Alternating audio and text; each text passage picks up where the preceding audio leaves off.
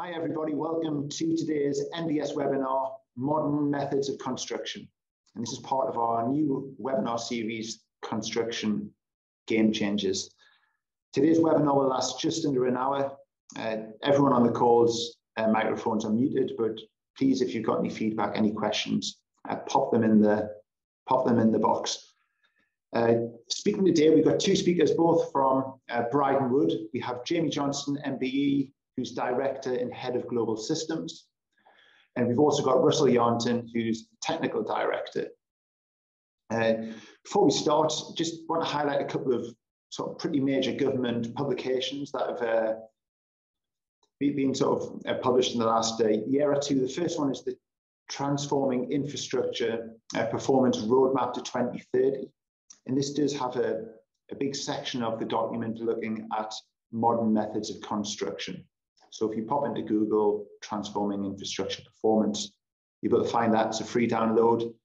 And in terms of defining what uh, modern methods of construction uh, are, they have this nice little definition here, which talks about like interoperable components to drive uh, faster delivery. And by doing that, it's about increasing uh, efficiencies, higher quality, safer solutions uh, that are better for the environment. And built into that methodology is the sort of parallel digital process, which is sort of uh, really sort of makes things like much more efficient in terms of the process and analyzing the numbers and the data. The, this, the second sort of uh, government publication was the construction playbook that came out a couple of years ago, but had version 1.1 published uh, September this year. And again, a whole section of that's on modern methods of uh, construction. That's uh, version 1.1, which came out earlier this year. In parallel to that, on the same page, if you Google construction playbook, was the modern methods of construction guidance note, which also came out September 2022. So a bit of background reading there, but uh, we'll jump straight into the first presentation, modern methods of construction uh, with Jaimie Johnston. Over to you, Jaimie. Brilliant. Uh, thanks for the introduction, Stephen. Um, yeah, so I'm going to talk about uh, MMC in the broader context. And then you'll have seen in some of the publications that Stephen showed this terminology around platforms, which is starting to become very persistent in government thinking recently. Um, so on that, this is an area where I think the semantics often get in the way. So there's lots of terminology being bandied around at the moment. Uh, I think lots of these terms get used interchangeably and some of them have a slightly different meaning or different connotation depending on the context. So I was just going to go through our version of what some of the key terms mean. Um, so a lot of this thinking started back in 2017. So the budget statement 2017 included this terminology and later on it, it had the sentence uh, presumption favour of offsite. And I think that's the bit that people have uh, very much latched onto and that's the bit that gets played back quite often if you read the longer text, actually, uh, they're a bit more specific. So it says government's taken a series of steps to improve the outcomes of cost, productivity, speed of infrastructure delivery. Uh, they're going to use their purchasing power to increase the use of modern method construction, such as offsite. Um, so I think what they were getting at and what they've said later is that modern methods of construction is a way of improving those outcomes and offsite for sure is part of it, but it's not, it's not the exam question, it's not the kind of the end state you're chasing. So in our terms, and you'll see this in the construction playbook, for instance, MMC isn't just the physical components, it's the process, it's the use of digital, it's the use of all of these other tools. So anything that's uh, new and innovative and in the service of those outcomes of time, cost, productivity, etc., kind of falls into the bracket of, of MMC. Um, the other big term that gets used, which we uh, at Bryden Wood particularly like, is DFMA, uh, Design for Manufacturing Assembly. So if MMC is that overarching approach, we use the term DFMA to mean design process. So if you want to manufacture and assemble something, then it needs to be designed in a particular way. And where we see people um, not getting all the benefits is where they do a sort of traditional design process and then try and retrofit a bit of DFMA, sprinkle some sort of volumetric dust on, on a scheme. Um, our experience has been if you really want to get the full benefit, you need to think very early in the design process about what are the tools and techniques that you might use. And it will include a range of things typically. So offsite, definitely part of it, use of uh, volumetric and flat panelized systems, platforms I'll talk about a lot later. Uh, digital and how you might develop better workflows, uh, use of data, use of other sorts of technology. So in our heads, MMC is typically uh, a mix of a range of these things and what you're trying to do is work out which of these has the biggest impact on improving those outcomes for clients. Um, this is a snapshot of loads of different projects we've done over the years, but you can see here there's a whole range of volumetric modular, panelized, uh, componentized systems. There's things with hot rolled steel, light gauge steel, concrete, timber. So there's no one form of MMC that is the, you know, the, the room to rule them all. There's no one particular material. As I say, you're trying to sort of draw down on a range of techniques typically. Um, one of the big drivers obviously is to become more like manufacturing. So probably everyone's seen uh, the graph that gets you showing that, that you know, construction productivity has been flatline, manufacturing and other sectors has increased uh, dramatically. One of the original drivers was uh, productivity in that government statement so our experience has been um, there's a number of reasons that we we aren't quite like manufacturing and offsite certainly gets some of the benefits. It moves people into a safer environment, for instance, but often it's construction in a shed. It's not a different thing. It's just displaced the problem. So there's some key things that we perceive have been uh, main considerations that as an industry we need to get our heads around before we can properly make this shift. So the first one is repeatability or lack of repeatability. So I'm sure everyone knows this. Every project typically is designed bespokely. Every design team is assembled and you develops a design, moves on to the next one. Any learning is uh, not disseminated. The first thing manufacturing did was standardize things. So there was about a 30 year gap between the first cars, which were labor intensive, very uh, expensive luxury items and the start of automotive as we know it. And literally the first thing Henry Ford did was say, just make them all the same. And suddenly productivity increased, the cost uh, plummeted, and that's the, the kind of start of automotive. So we have to get our heads around a level of standardization as a precursor to uh, MMC and DFMA, and Russell will talk about that a bit later. Um, the second one is scale. So um, again, this idea that sort of you can just make a building in a, in a factory and you know you're sorted, we don't think it's quite like that. So if you think about uh, proper manufacturing, typically the process is bigger than the product. If you're making a phone or a car, you can have a robot which is bigger than the thing you're making. Buildings aren't typically like that. Uh, you know, they're much bigger. You're not going to have a 200 story robot making a building. And so there is definitely a place for automation and robotics and proper manufacturing, but it's properly, probably not at a building scale. It probably happens at a more componentized level. And the other thing that's driving that is what we call cost density. So uh, buildings are mostly air and commodity materials. So the cost density of a building is typically very low. So concrete's about um, this is in dollars because I was talking about this in the US recently. It's $150, say, a cubic meter. An Apple iPhone's about 100,000 times more cost dense. So manufacturing can typically invest in automation and factories and robotics and these sorts of things because the, the cost density of their things is much greater. Um, so we're starting to consider putting things not in factories and therefore not having the, the, the amortization of the factory and the cost of running it and all these things added to the cost of the building, but starting to look at slightly different methods of delivering things. Um, so over a period of years, we've been developing um, a whole range of different systems for different clients, but you can probably see on this graphic, increasingly we've been heading towards uh, smaller components that can be configured in lots of different ways because of that cost density and uh, what you can actually manufacture properly. So what we've been trying to work out is how to get the benefits of standardization and repeatability of manufacturing at component level, but in a way that can be configured to create very site-specific, client-specific assets. So that for us is the kind of um, where the industry needs to head is not relinquishing on uh, specificity of building types, but still harnessing all the benefits of manufacturing. And it's what automotive does really well. So when you go and buy a car now, you get lots and lots of choices. So your car is very mass customized or mass personalized, but it's still using completely standard components configured in a particular way.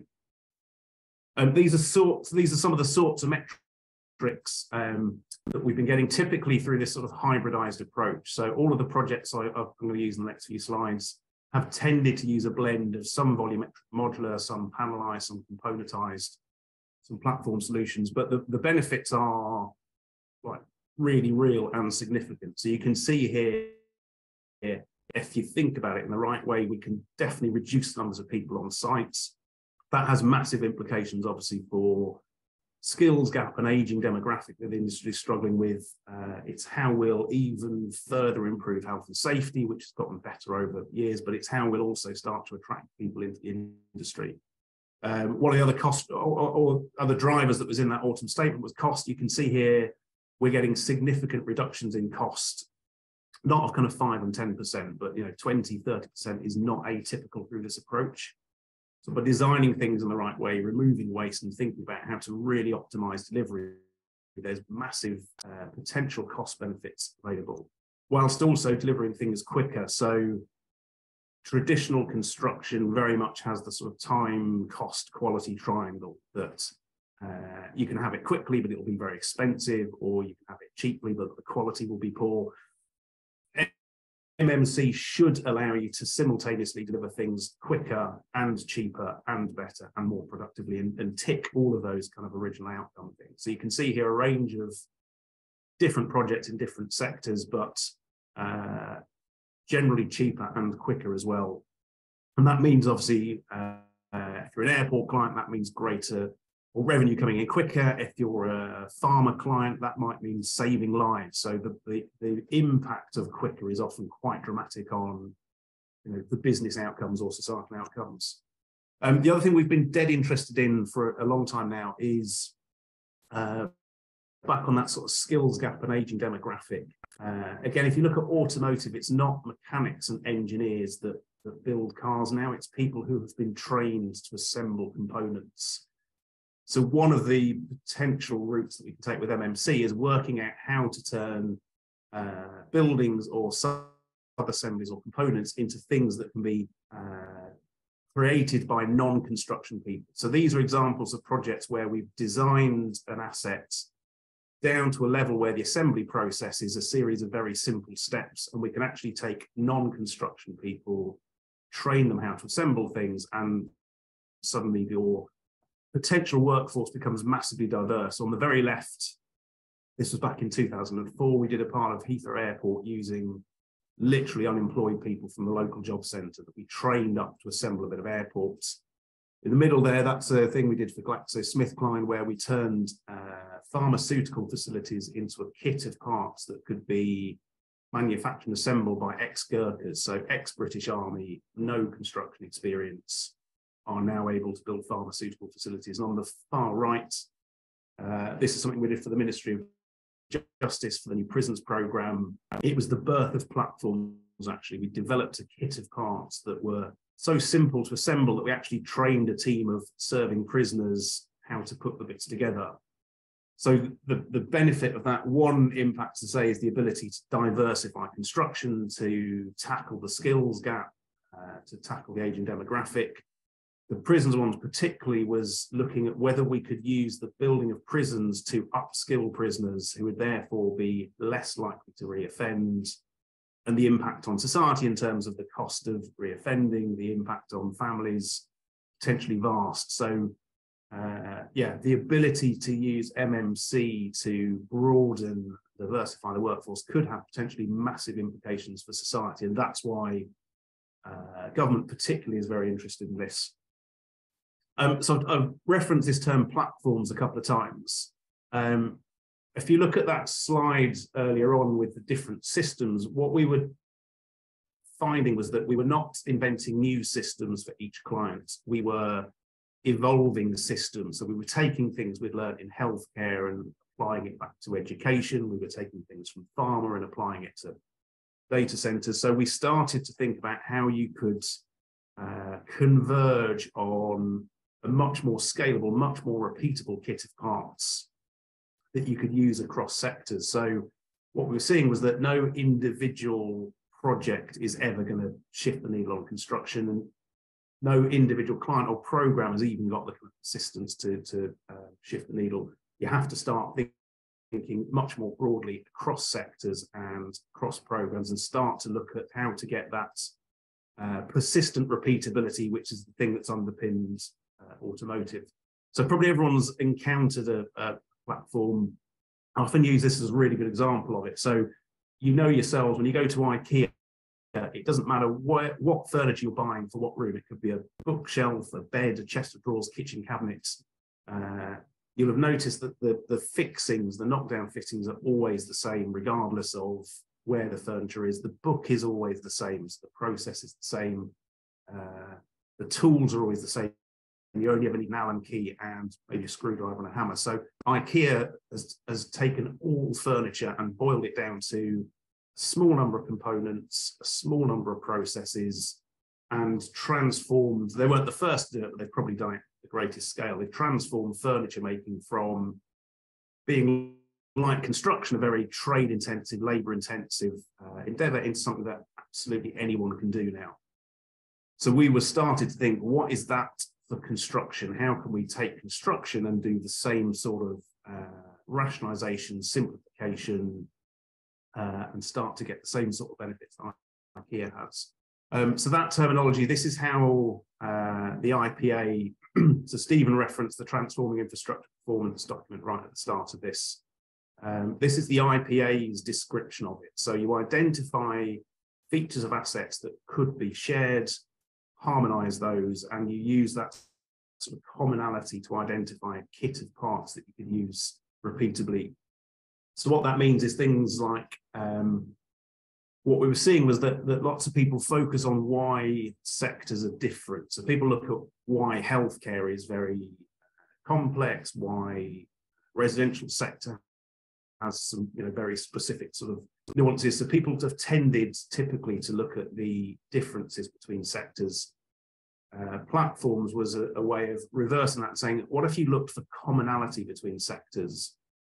So the example I often use is uh, floor to floor heights are set by the size of a person and a you know, person height plus an allowance for head height plus an allowance for ceiling and structure. You can get natural light about eight meters into a building so that's why schools and healthcare wards and apartments typically have about an eight meter span, nothing to do with sector, everything to do with them being designed around people. So we started saying, look, what are the sorts of features like that that you could identify that were common and use that to create kits of parts which you could use across all these um, sector types. Why would you do that? Well, if you did, you'd start to get into the IKEA thing you'd have uh, fewer components that you could then start to manufacture at scale and get into the, the economies of scale. You could start to massively optimize them. So you you might have noticed I'm a IKEA nerd. Uh, you might have noticed that over time, IKEA has refined and refined the design of these um, components and made them more and more efficient. The reason being that if you're going to make something a million times, like every gram you take out, every manufacturing process you remove has a million times multiplier.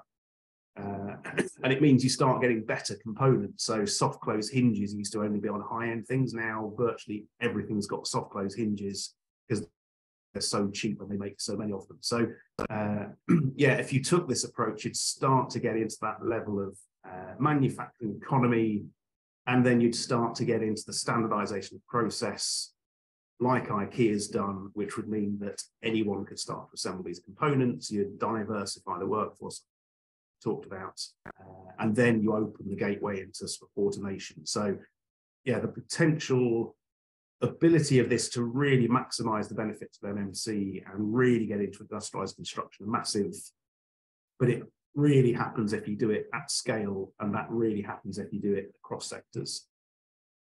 Um, so this, Stephen highlighted some of these documents. It's, it's a, uh, piece of thinking that's evolved over quite a long time now. So we actually put out a piece of um, document we wrote on platforms back in 2017.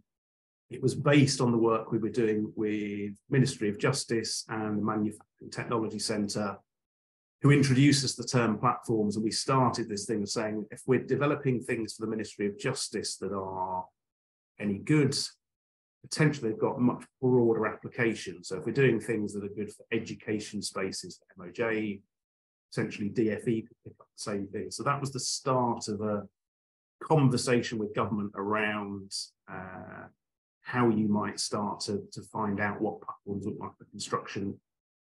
Um, this was one of the early diagrams that we put together that first explained the principle. So we said if you consider the departments on the right, if you plotted everything that government buys in terms of spaces. Uh, so when DFE is buying um, schools, it's actually buying teaching spaces to educate people. Uh, Department of Health and Social Care is buying inpatient wards, it's buying inpatient bedrooms for people to, to be healed and get better. So if you think in terms of spaces and plotted everything government buys on this graph, everything lives on it somewhere in terms of spans and heights. You could then start to identify the kind of clusters of spaces which are common, which you could start to then group together. So we, we said initially, if you had, say, a big empty sheds kit of parts, uh, which is platform three, we described it as if you had a kit of parts that did use cellular repeatable accommodation, so uh, prison cells for the Ministry of Justice, uh, student accommodation, single living accommodation for the army. Probably everything else would sit in the middle in that kind of uh, sort of seven, eight meter span. So we were using the, the, the platform numbers to describe the uh, sort of spanning characteristics or size of spaces. But we said platform two, a sort of eight meter mid span system, would probably do vast amounts of everything government buys. And you could suddenly get into straight into that kind of economies of scale piece. So this was one of the first things we showed um, IPA wider government. It was one of the things that started explaining how you might go about identifying this kit of parts. We said if you had that kit of parts, you get two versions of it. So on the left-hand side, you'd get your standard repeatable components that because you could really optimize the design, almost anyone could make them. And then team of people could put them together. So you get your standard components, purchase them from a wide supply chain, trained team puts them together, that makes your project. The other key part of that was you would have a digital library that described those components and a set of rules about how they go together. And what that would mean is design teams could then digitally configure these things uh, into sort of bespoke assets. And that's how you properly crack that uh, bespoke design using standard components. And if you got good at both bits, you could potentially automate both sides. So through the uh, digital rule sets, you could start to create configurators, you could start to automate design. Through the stable use of the same components, you could start to automate the manufacture and delivery on site. So this is how you start to really open up a path to uh, all of the benefits that manufacturing's had. Um, So that idea was then picked up. It was documented by IPA uh, in 2009 18. Uh, it was one of the ideas that was uh, used to set up the Construction Innovation Hub. So I'm sure people have seen one of the sort of key uh, drivers for the hub was to really understand platforms and start to look need for construction. One of the first publications that the hub put out was defining the needs. And it was basically doing uh, that thought diagram I did, but for real and with the actual department. So uh, we were given access to uh, 50 billion pounds worth of forward spend for these departments. Uh, we put all of that into Uniclass. Um, so that is a common classification system which allow it's a common language that you can use at all levels from sort of building right down to components Russell will talk about it a bit later, but it's an incredibly powerful way of uh, talking across departments or talking across sectors. So we put all of their forward pipeline, uh, tracked it against Uniclass so we could cross compare, departments, and then we ran loads of different visualizations. You can download a report from, from the Hub's website that showed lots of visualizations, but these are some of the key findings. So top left, uh, what it showed is that about 70% of the stuff we looked at could be delivered with that mid-span platform I talked about. So intuitively we knew that, but then we had you know, the evidence base to prove that was true. Um, top right, you'll see that across the government estate, we found 104 different names for toilets. And they were, you know, they were human readably the same thing. So it would say staff hyphen WC, staff underscore WC, WC hyphen staff, etc. So as a person, you could see it was the same thing, but as a machine, you couldn't see it was the same thing. So once we got into Uniclass, it, it showed there was loads of uh, potential standardization that was hidden by uh, department specific nomenclature. So just getting you know, everything into a common data structure allowed you suddenly to see loads of opportunities for potential standardization adoption of, of MMC. Uh, we also found middle left, less than half of a hospital is actually clinical space, less than half of a school is teaching space most of those asset types are circulation, plant, storage, sanitary accommodation, uh, dining facilities. So uh, necessary but kind of supporting functions. Less than half the building is actually the kind of really critical department specific uh, need. So it tells you something about how you might start to think of assets as uh, certain bits which are critical to departments and might be considered not optimized by departments, certain bits might be treated much more generically and provide massive opportunities for standardization and componentization. Um, that all led up to the document that Stephen showed first, which was the um, TIP documents. But there's a, a, fantastic video that explains their thinking around platforms, but uh, broadly speaking, it starts with formally doing that piece of work we've done with the hub, identifying the rules, the, the technical rules that drive facilities, using that to develop physical assets that be made, using that to develop configurators that, that uh, enshrine those rules. And that's how we start to get into this cycle of continuous improvement. So on the right-hand side, you can see the, the benefits that the IPA is going for. So uh, unleashing proper product productivity, uh, allowing a much more disaggregated supply chain by using repeatable components. So one of the, the uh, barriers to entry, say, for certain types of MMC is there's quite a high capital cost barrier. So if you want to be a modular manufacturer, you need quite a big capital investment to buy a factory, to set up a factory, to get ready to manufacture these things. Uh, if you were using much smaller, much more uh, readily manufactured components, what we found is you can use the existing supply chain to make them. Uh, and if you're buying the same component from multiple suppliers, suddenly you're not reliant on any one supplier, you become much more resilient. Um, one of the key things they talk about is factory conditions in construction. So not necessarily moving things off site and having all the uh, transport and logistics and running costs associated with that. If you could turn your site into something more like a factory and get the productivity benefits, but without all the downsides, then potentially that's more powerful. So uh, factory conditions on site are a real uh, interest of us and feedback loops. So I mentioned earlier, typically any learning from one project can't be built upon. Uh, one of the powerful ideas around platforms is that anything you learn from one project, you can build into the next version of components and you get into that continual improvement cycle manufacturing does well rather than constant reinvention. The idea that you can feed back uh, data, it has somewhere to sit in your library components, informs the next generation, the next assets. Again, that's how we're going to start to get the uh, accumulation of incremental benefits, which is something that manufacturing has done well for, for decades. So what does it look like in, in practice? Um, so this is a uh, first private sector client that's adopted this. So already I think there's a really interesting thing that's happened where the original platforms were de developed for Ministry of Justice, Landsec, who I'm sure you know the UK's largest private developer, picked up that idea and started to apply it to some of their assets. So this is a, a private sector office. It's in just south of the river. So if, if you know London, it's between uh, Tate Modern and the Shard. It's just opposite St Paul's. So very uh, prominent site.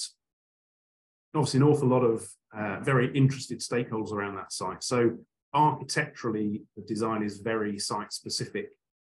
So it's very much driven by views and overshadowing an existing context and the historic building. So uh, architecturally super site specific, but made up of a, a, kit of parts that we've developed uh, initially with MOJ and then sort of helped refine for, um, for Landsec. So broadly speaking, we think in terms of superstructure, facade, MEP and fit out. Uh, superstructure sits smack in the middle of that diagram for us, not because it's the biggest bit of the cost, but we think of it as a carrier frame or an enabler for the other, other bit. So you can already buy millimeter perfect unitized facades. Um, you can already buy lots of prefabricated mechanical electrical systems. What we've seen is that a lot of the benefits of the manufactured bits get diluted when the millimeter perfect bit hits the traditional construction bits. So within superstructure, you can be sort of 40, 50, 60 millimeters out of position, but still be within tolerance. And if you've brought a man, millimeter perfect thing and it hits that, then a lot of the time for facade suppliers, for instance, is spent fixing the gaps and measuring brass, bracketing and masticking the gaps between their manufactured thing and the traditionally built thing. So one of our key things, and it's why I've talked about superstructure a few times, was if you had a superstructure that was incredibly accurate, uh, pre-engineered with the right interfaces for all the other bits, and it's really easy to imagine the MEP and the facade turning up as a kit of parts and clipping into position. So we've really focused on superstructure, which is again what automotive does. They take a sheet of metal, stamp it, becomes the chassis of the car, everything then clips into position. It's the setting out point for everything else that, that follows. Um, so these the the platforms I referenced the numbers earlier, the sort of spanning characteristics. So platform two is the one that has a uh, potential market of 35 billion. Uh, platform three is the kind of the next scale up. So we literally took platform two, added a component to get up to nine by nine meter bays, which is what commercial office typically uses, and we're we're off to the races. Um, so there's a whole series of things where we're actually using the same components or processes across multiple platforms. So again, exactly like IKEA. What it means is that if we learn something in one of these, so how to use color coding, how to use automation, automation, uh, we can almost instantly deploy it in the others, which is how we start getting into a space where everything accelerates very quickly. So in this case, we literally took uh, superstructure that we'd first uh, prototype test for MOJ, added a component, and suddenly a thing that was designed for prisons and schools and hospitals is perfectly useful for uh, offices. So the method of manufacture and assembly and the components were all exactly the same with one extra component. Um, I mentioned that digital library earlier. So because all of the uh, components we use were very repeatable, uh, we didn't actually model the building. We had an algorithm that you plugged in some parameters and it would generate a data set, described the location and position of all those components. And from that data set, we could then generate the BIM model. So rather than having BIM as the uh, central thing with lots of different views in, data sat in the middle for us. And BIM was one of the views. We didn't actually need the BIM model. So from that data set, you could cure, you could fabricate, you could actually buy the bits. But we would generate the BIM model for coordination and for visualization for all these other purposes. And every time we changed the design, we didn't uh, update the model, we just generated new ones because it was quicker to do that, took minutes to do that. So we're already showing how that uh, automation on the right-hand side of my earlier diagram works, that having a persistent kit of parts made it much, much quicker to get very high quality information. Um, for some of those components, then we didn't even need to draw them. So this is where I think robotics plays a part, is in these smaller but very repeatable components. So we could send our files straight from us to the supply chain. In this case, Easy Space, who are a very small uh, manufacturer, couldn't manufacture a big steel frame, but they could robotically cut and weld all the components you'd need to put the frame together. Um, so we're now missing out the potential for human error, the time taken to interpret drawings, do the setting out things. And so we're straight away getting a very productive design process into a very productive manufacturing process. And then this is the prototype, but this is how we built the building on site. Uh, we've then got, you can see here, very few people, a little bit of automation, very simple processes, uh, putting the superstructure together. So if you watch this video a few times, you could literally go and have a go at putting one of these things together. It's you know very, very straightforward. But you'll see here we're measuring things in minutes. This was testing whether you could build the whole superstructure from the floor below. So you stand on the floor, you raise the components, slab goes off, you stand on the next one. So no one's ever working at height, which means they're always working very productively. We were using uh, low carbon self-compacting concrete take carbon out of the out of the building and make it more lightweight. Once the slab's gone off, you strike components, move them up onto the next floor, and away you go. And you'll see here all the mechanical electrical fixing points were already cast into that slab. So this is now ready to receive uh, the MEP components, the facade components. So we got down to a level, it was hard work, but on nine by nine meter bays, we were plus or minus five millimeters so because of the robotic uh, cutting, welding, etc., it meant that these components were incredibly accurate, very fast to put up, whilst getting uh, incredible levels of site accuracy. So this is what we mean when we talk about uh, factory conditions on site.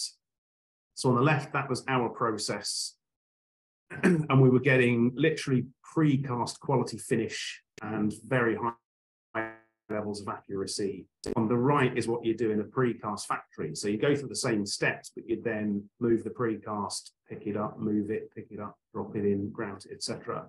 So this was a one of these examples where uh, we weren't doing things off-site uh, because we were taking a very dumb material, very low-cost material that I mentioned earlier, touching it as few times as possible, and it's a finished product. We weren't increasing dramatically the, the, the raw material cost.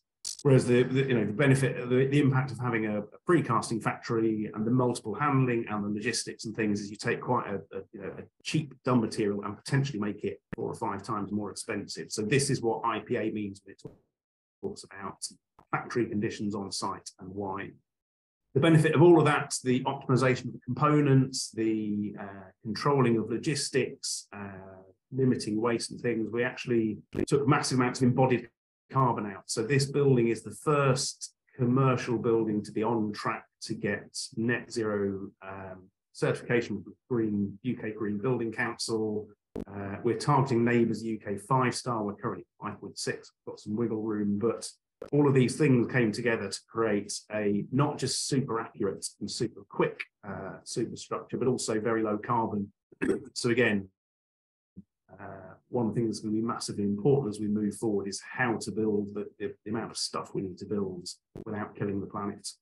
Um, we actually had, there was a team from the University of Cambridge who were crawling all over this project. So they had access to the timesheets, the SciTi, uh, daily activity logs, and they were looking to see what we could learn about productivity on this project. So the idea being, uh, whilst this is a first of a kind, the idea of platforms is that we reuse the components. So if we can learn things from this project, we can potentially uh, improve dramatically on the next project. So we had this team capturing all this data for us and helping us understand what the system did and what it enabled. Um, one of the things they found, which is very hard to see on a traditional site, but much more easy to measure when you have these repeatable components and processes, the kind of variability in daily activity. So you can see here, this was looking at one of the levels in one of the buildings, uh, the number of pieces of steel that had to go up. It was possible to put 12 bits of steel up on a good day, but because of uh, different work faces and logistics and, and you know various other things, uh, the, the amount of steel that went up in a day was very variable. What the data shows was if you'd just done the average, so not gone quicker, if you just managed to maintain the average rate but done it very consistently, you'd have gone 25% quicker. So it starts to tell us that moving forward, we shouldn't necessarily have Gantt charts. We should have piece count and start saying, just do six bits of steel every day and then go home if you like, but don't ever do none. But you would start to plan buildings in a, in a much different way. Uh, they also did this thing, which is flow line analysis. So the um, horizontal bits means nothing's happening. The uh, angle bits is when activity is happening. But it shows, again, it's hard to see this on a normal site. Like a third of the time was inactive on certain activities, a quarter of the time. So suddenly you go, again, if you could plan the building like you would plan a manufacturing facility, and you plan the site to be productive, remove that inactive time, again, you could start to really telescope activities. Um, so Cambridge did a, a, a, study, for instance, showed that if you did, if you rephase the works and thought of it as a manufacturing plant, again, without doing uh, anything differently, just doing things in a different sequence, you potentially reduce the program by 40%. Again, not going faster, just rephasing the works like a manufacturing plant, which again, massively powerful as we move on to the next version of platforms that you would start potentially to think differently about how you organize the sites. Um, facade, this was a facade, so the facade wasn't unusual. So we went to a normal facade supplier.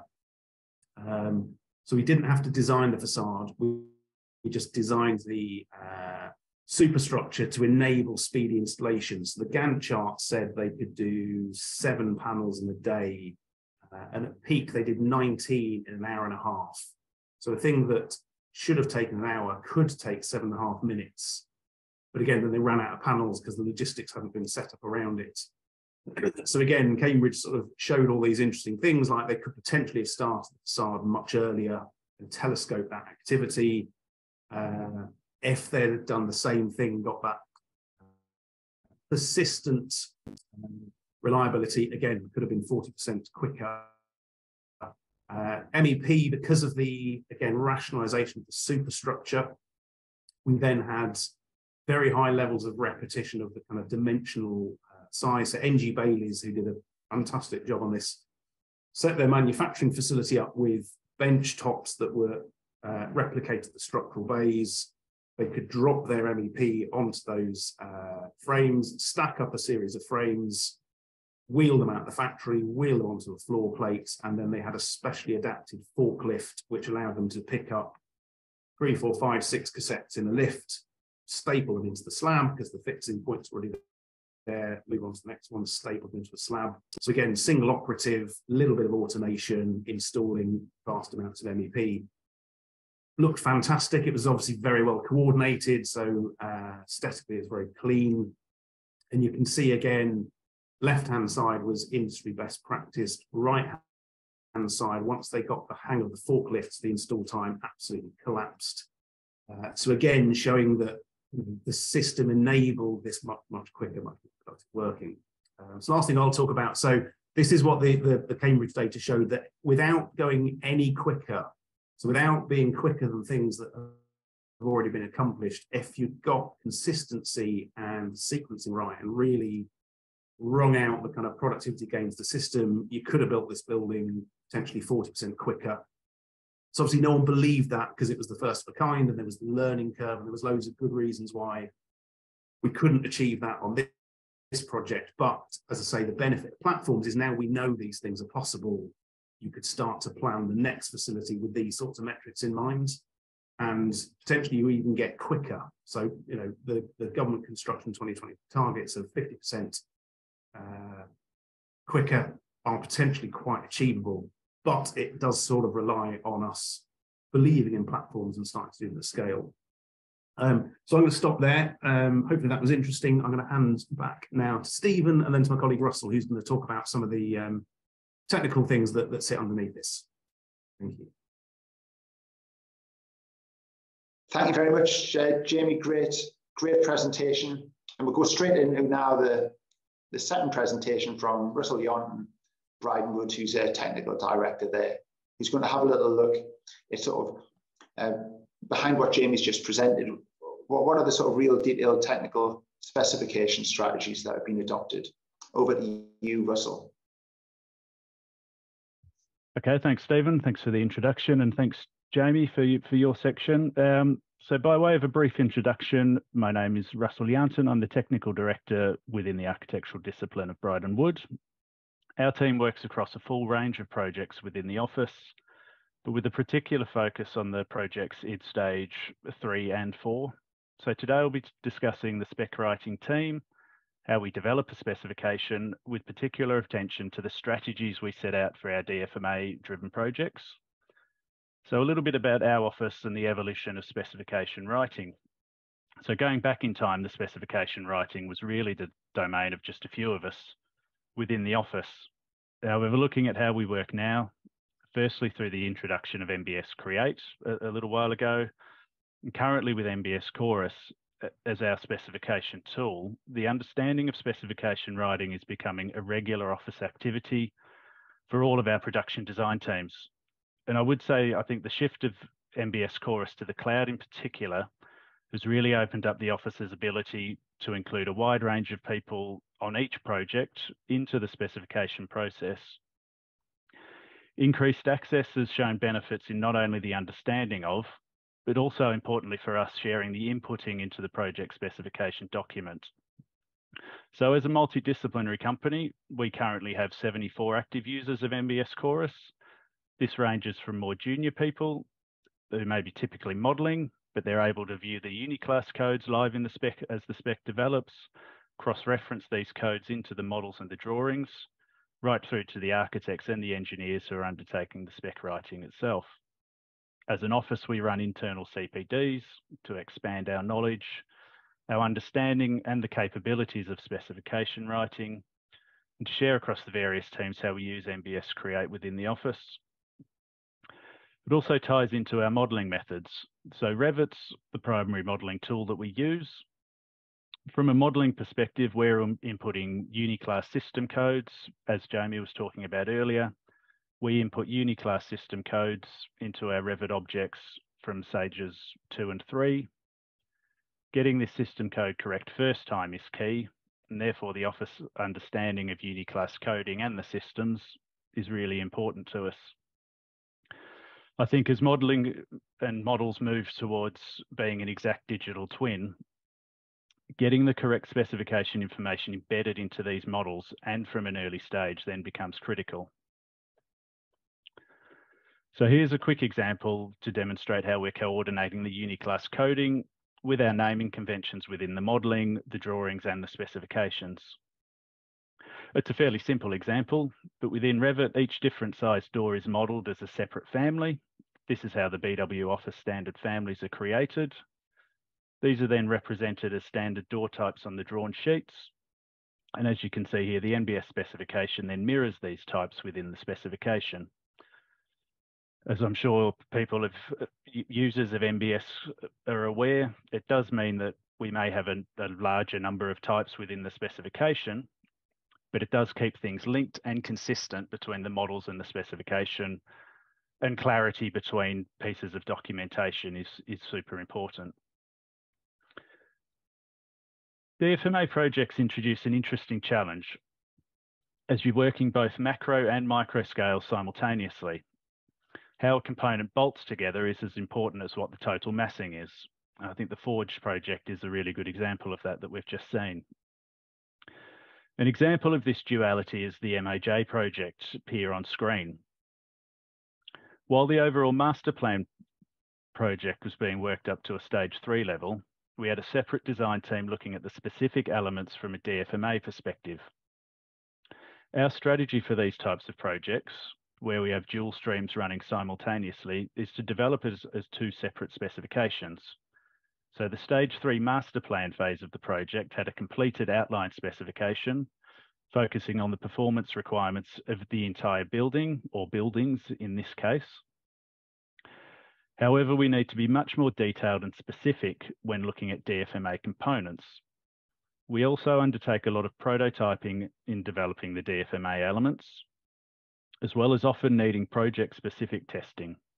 So while performance figures can be specified early, and for example, our DFMA elements and the corresponding Uniclass coding was also contained within these outline specifications, which just has its outline performance requirements, but not specifically how the performance is achieved, The DFMA specification contains the specific component information which are developed in conjunction with the prototyping and the testing that's undertaken.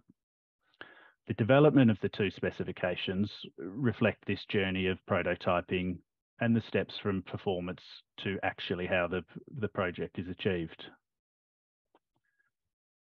Another example of the dual specification strategy that we have can also be demonstrated for a modular residential project we've completed. The module specification was developed as a kit of parts, but developed in conjunction with the specific, uh, sorry, developed as a kit of parts, developed in conjunction with the specific factory manufacturing capabilities and their future aspirations, as well as, for example, specific fire testing that was undertaken for the modules. As a separate design stream, the overall building specification was developed to be deliberately more generic and performance-based. This allows for site-to-site variation in not only the massing, but also cladding types and internal finishes, all while retaining the same set of building blocks that were provided by the DFMA module design. Moving to a slightly different methodology, but we are finding increasingly being asked for by clients to develop, is what we're terming a reference design, a design that is site agnostic, let's say a mid-brief scheme, which may also carry with it a localization brief, rules on expanding or contracting the base design, as well as methods to deploy it on site. So I can't show these examples in great detail as they're generally commercially sensitive clients, where repeatability and speed of deployment is a key driver. However, technically, technically complex sectors such as data centers, healthcare, manufacturing, and process buildings are finding this as a method that can help with their large scale rollout targets, using the benefits of standardization as the first step to this target. With this reference design strategy, once we've created a base build design, it can then be quickly deployed to various locations and sites. The reference design and the associated specification is specific for repeatable elements, giving rise to standardization and the benefits of the future DFMA possibilities we've just heard Jaimie discuss earlier. But it is generic where required, so specifically highlighting key areas that require country and or site-specific review and validation.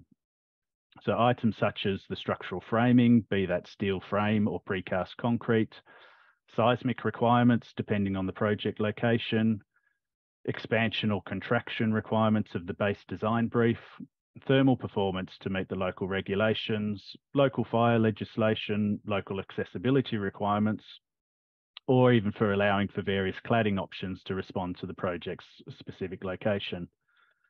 So this allows a large number of key building elements to be consistent between projects allowing for rapid modeling and rapid testing of possible sites and configurations. Again, moving into the automation of the design that we've touched on earlier. This method of specification doesn't necessarily split the design elements into two separate specifications, but it does make clear within the master specification what is repeatable reference design and what is generic that requires site or country specific validation. The master specification document then becomes used as the starting point as it, and is adjusted and is adapted as required to suit the local requirements and regulations. So that's the end of my brief summary and how we plan and implement our specifications with a particular focus on our DFMA style of projects. Thank you. Thank you very much, Russel. Thank you very much. So that ends uh, today's webinar. If you'd like to know more about the, the, the approach and the solutions that Bryden Wood have uh, been presenting on, if you go to the Bryden Wood website and click in the ideas section, there's some fantastic publications and webinars and the, the like here. So for example, Jaimie Johnston on uh, platforms to design and construction. If you'd like to see more about the sort of uh, case studies and webinars that we do here at NBS, if you go to our website, nbs.com, under resources, you'll find lots of case studies like the ones we've talked about today from different practices in our case study area. On both the sort of design side of things and also uh, construction product manufacturers. And if you'd like to know more about NBS Chorus, uh, go to the NBS website, specification writing tool, and uh, you can see here NBS Chorus on the left-hand side for architects, engineers, like all types of specifiers. And you can also find out more information on Chorus, it's just coming off the top and menu bar. And that concludes the webinar. Please pop a message in the chat if you'd like to know uh, more. Visit the nbs.com, find out about Chorus, find out about our customer stories. And any questions, you can also sort of drop us an email, email address at the bottom there. Thanks very much, everybody. Bye bye.